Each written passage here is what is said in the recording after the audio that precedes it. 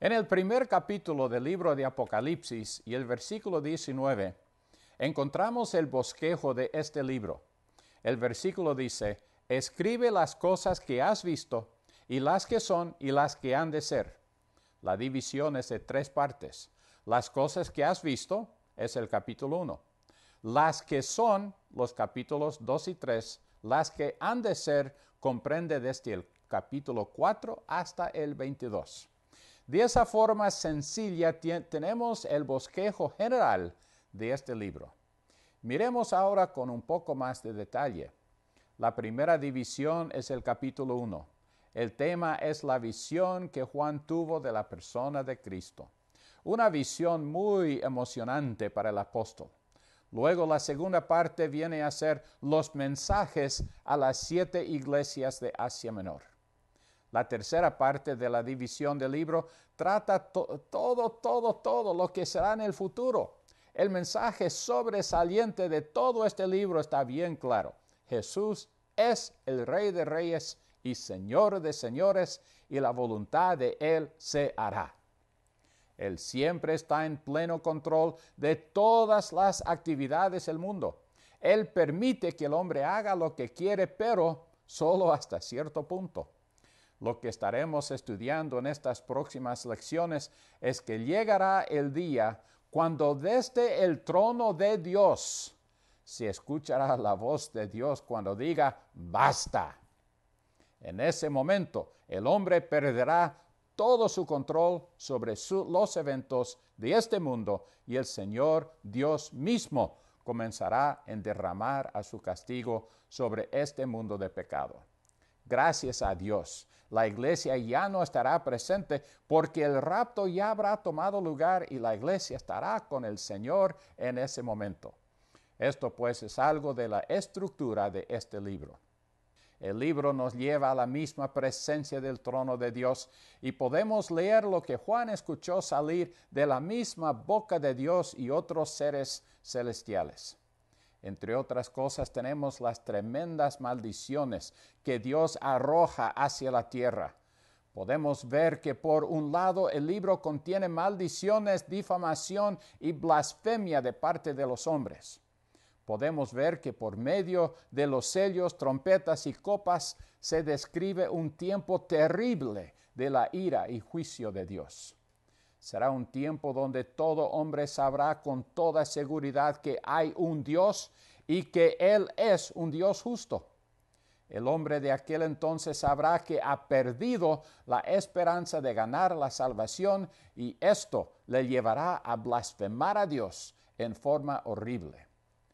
Por otro lado, tenemos las bendiciones que hay para con los hijos de Dios. A continuación, voy a mencionar solo cuatro de las bienaventuradas encontradas en este libro. Veamos.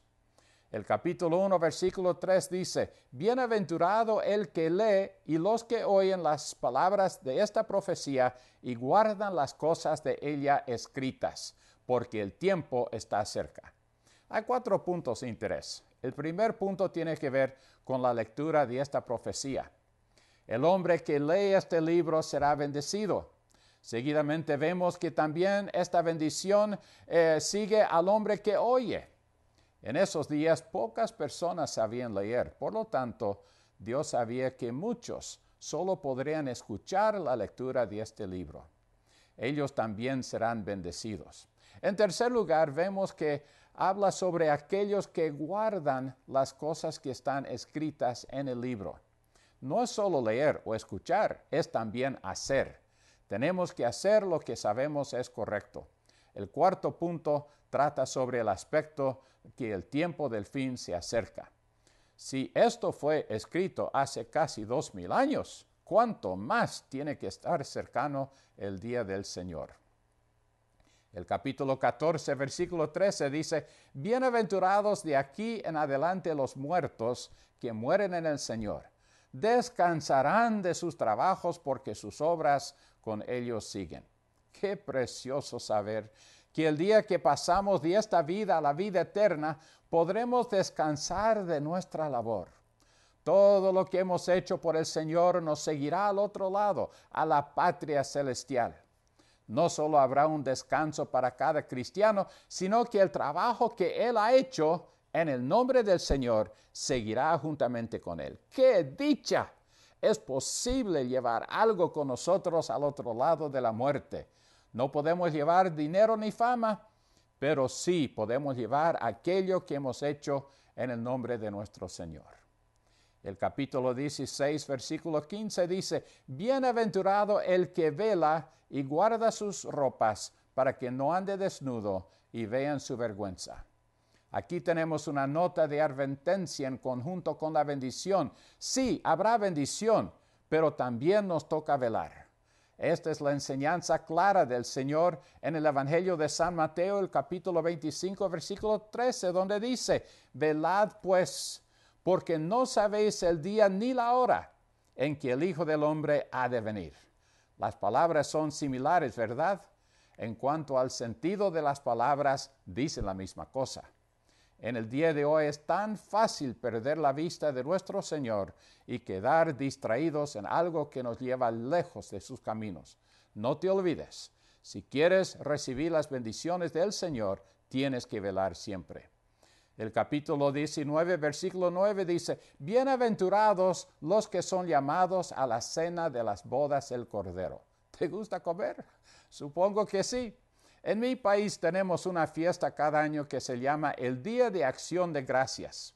Es un día cuando recordamos a nuestros antepasados que recién habían llegado de su tierra natal y que en el primer invierno prácticamente casi mueren de hambre. Después, cuando llegó el invierno una vez más, esta vez ya tenían toda la comida que necesitaban hasta llegar la cosecha en la primavera. Por eso tuvieron esta fiesta para dar gracias a Dios por haberles ayudado para este invierno.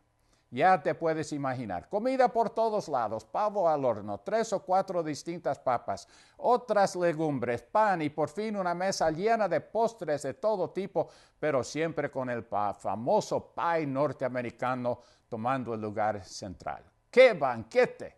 Pero sabes una cosa, toda esa comida, ese banquete tan abundante, no se compara a ese gran banquete de las bodas del Cordero.